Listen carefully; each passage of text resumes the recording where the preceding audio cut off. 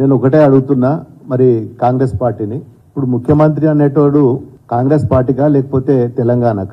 తెలంగాణకు ఒక ముఖ్యమంత్రి లేదంటే కాంగ్రెస్ పార్టీకి ఒక ముఖ్యమంత్రి? ఇద్దరు ముఖ్యమంత్రులు అయితే ఉండరనుకుంటా నేను.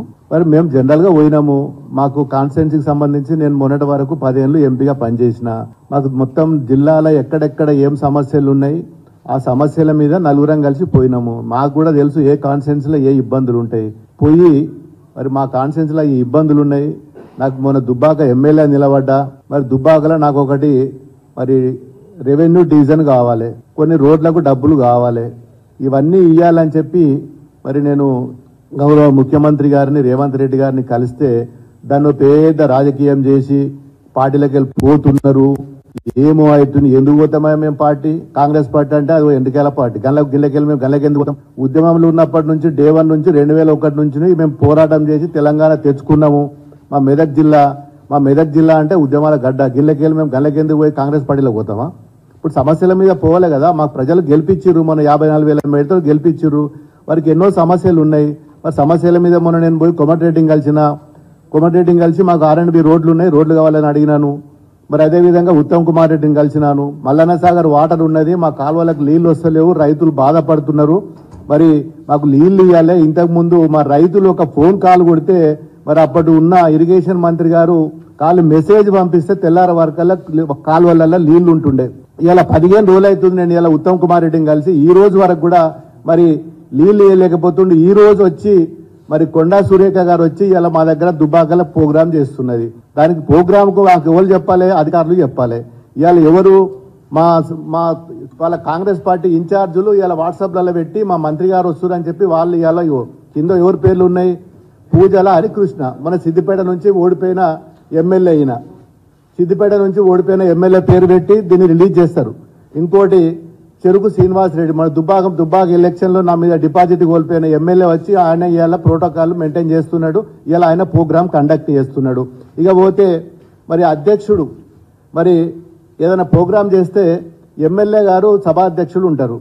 ఇలా మా పేరేమున్నది ఈడ కొండ సురేఖ తర్వాత నలుగురు మంత్రులు కింద ము- నాలుగో ప్లేసుల్లో ఐదో ప్లేసుల్లో ఎమ్మెల్యే ఎమ్మెల్యే పేరు ఉన్నది దీనికోసం మేము అడగడానికి పోతే ఏదో పెద్ద రాజకీయము. కాంగ్రెస్లో ఏదో మేము కలుస్తున్నాము మా పార్టీకి ఏమో లేనట్టు. వాళ్ళది ఏదో పెద్ద దేశంలోనే పేద పార్టీ పేద ఉరగబెడుతుంటూ ఆ కాంగ్రెస్ పార్టీలో పోయి మేము గెలుస్తున్నాం అని చెప్పి ఇలా రకరకాల జిమ్మిక్కులు జిమ్మిక్కులు చేసి టీవీలల్లా పేపర్లల్లా సోషల్ మీడియాలల్లా ఇదో పెద్ద డ్రామా. మరి మాకు ఏం అవసరము? మేము ఎందుకు పోతాము? మరి ముఖ్యమంత్రి అన్నప్పుడు మేము అందరి దగ్గర పోతాము అందరు మంత్రుల దగ్గర పోయినాము. నేను రెండు సార్లు ఎంపీ ఉన్న ప్రధానమంత్రిని కలిసిన మంత్రులను కలిసినాము రాష్ట్రానికి రావాల్సిన రైల్వే గురించి రైల్వే మంత్రులను కలిసినాము హైవే మా- హైవే గురించి నేషనల్ హైవే మంత్రి నితిన్ గడ్కరీని కలిసినాము మరి సివిల్ సప్లై ఫుడ్ కార్పొరేషన్ మంత్రులను కలిసినాము. ఏ రోజు కూడా ఢిల్లీలో ఉన్నన్ని రోజులు మేము మంత్రులను కలిసి మాకు రావాల్సిన మరి తెలంగాణ రాష్ట్రానికి మా నియోజకవర్గం రావాల్సిన నిధుల గురించి కొట్లాడినాము. అదే తరహాలో ఇప్పుడు కూడా పోయినాం. ప్రధానమంత్రిని కూడా నేను మూడు సార్లు కలిసిన. అదే తరహాలో ఈరోజు ముఖ్యమంత్రిని గారిని తప్ప కలవడం తప్ప మంత్రులను కలవడం తప్ప అధికారులను కలవడం తప్ప సెక్రటరీ సెక్రటరియట్కి నేను పోయిన. ఇప్పటికి నాలుగైదు సార్లు సెక్రటరియట్కి పోయిన అధికారుల దగ్గర మా ఫైల్స్ పట్టుకొని. ఎందుకు పోకూడదండి? దీన్ని పట్టుకొని వార్తలలో పెద్ద పెద్ద పేపర్లలో రాయడం అనేది కరెక్ట్ కాదు.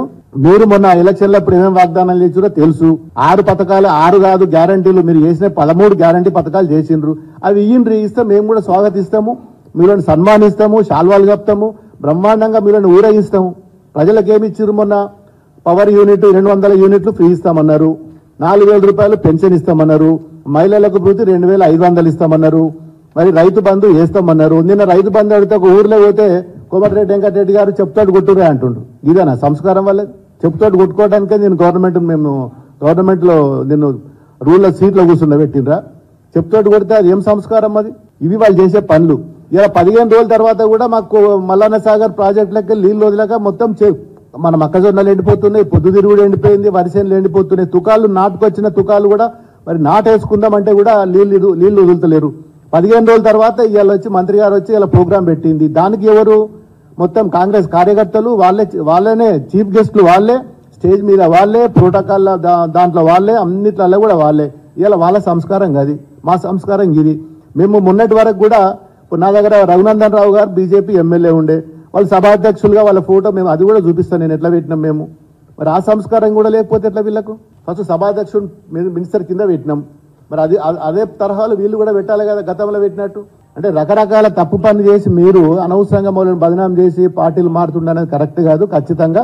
ఈ రోజు రేపు జరగబోయే ఎన్నికల్లో కూడా మరి మెదక్ పార్లమెంట్లో నూటికి నూరు శాతం గెలిచేది గులాబీ జెండా. మా ఎంపీగా ఎంపీగా మేము మా గౌరవ మా కేసీఆర్ గారు ఎవరైతే అభ్యర్థిని మరి అవకాశం ఇస్తాడో మరి దానికి వంద శాతం. రేపు జరగబోయే ఎన్నికల్లో కూడా మీరు చేసిన వాగ్దానాలు మీరు చేయబోయే వాగ్దానాలు ఏమున్నాయో అవన్నీ కూడా ఎండగడతాం. అవసరం అనుకుంటే మరి రోడ్డు మీదకి వస్తాం. మాకు ఏదైనా కొత్త ఏం కాదు. ధర్నాలు చేసైనా ఏదైనా ఇలా ప్రజలకు ఏదైతే మాట ఇచ్చిండ్రో మీరు ఆ మాట నిలబెట్టే వరకు కూడా మేము పోరాటం చేస్తాం. వచ్చే ఎన్నికల్లో కూడా ఖచ్చితంగా మెదక్ గడ్డ మీద ఎగిరేది గులాబీ జెండా. మా పార్టీ ఉన్నంతసేపు మేమున్నంతసేపు గులాబీ జెండా నిష్పెట్టి కేసీఆర్ నిష్పెట్టి ఎక్కడ పోయే అవసరము లేదు. మాకు అవ- మాకు ఉద్దేశము లేదు. మేము ఇప్పుడు కాదు మళ్ళీ ముఖ్యమంత్రి గారిని నిన్న కలుసుడు కాదు ఇంకా వంద సార్లు కూడా కలుస్తాం. సమస్యల మీద మా ప్రజల కోసం అందరు మంత్రులను కలుస్తాం. ముఖ్యమంత్రి గారిని కలుస్తాం. మరి ఇంకా ఐదు సంవత్సరాలు మ్యాండేట్ ఇచ్చిండ్రు. మరి ప్రతి నెలకు ఒకసారైనా కలుస్తాం రెండు నెలలకు ఒకసారైనా కలుస్తాం. ఏ అవసరం ఉన్నా కానీ ముఖ్యమంత్రులను మంత్రులను చీఫ్ సెక్రటరీలను అందరినీ కలుస్తాం. అవకాశం వాళ్ళు వాగ్దానాలు ఇచ్చినవి తీయకపోతే కూడా దాని మీద కూడా అన్ని విధాల పోరాటం చేస్తాం. ప్రజల కోసం పోరాటం చేసిన పార్టీ ఇలా బీఆర్ఎస్ పార్టీ. మరి మా మీద అనవసరమైన దుష్ప్రచారాలు చేస్తే మాత్రం ఊరుకునేది లేదు. ఖచ్చితంగా ఎండగడతాం. మీరు చేసిన మొన్న ఎలక్షన్లో ఇచ్చిన వాగ్దానాలు ఏదైతుందో అవి పూర్తి చేసే వరకు కూడా మా పోరాటం ఆగది.